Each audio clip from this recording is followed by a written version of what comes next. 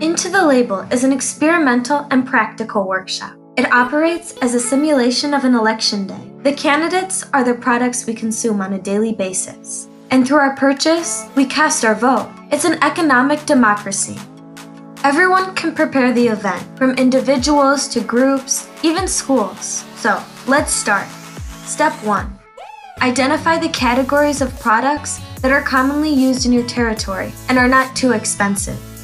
Step 2 Choose at least three products of every category. These will be the candidates elected. Step 3 Investigate the products through their official websites. You can also consult independent and external sources to increase credibility. Look for features such as traceability, environmental impact, and respect for the workers, safety, and prices. And with this research, you will be able to create the instructions for the event. So, prepare a form.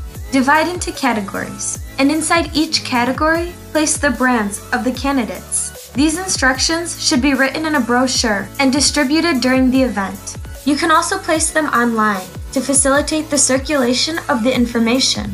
Step 4.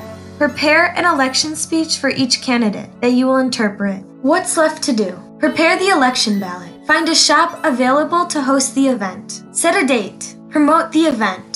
Invite people. Make sure your stand is visible to all the customers entering the shop. And then everything will work as an election day. First, introduce and describe the event.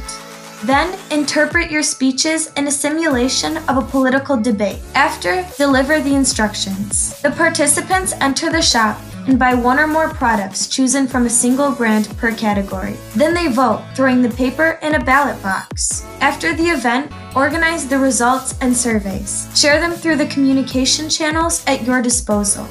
Join us on May 11th within the United World Week and our international initiative of Into the Label. For more information, contact us on Facebook, Instagram, or email.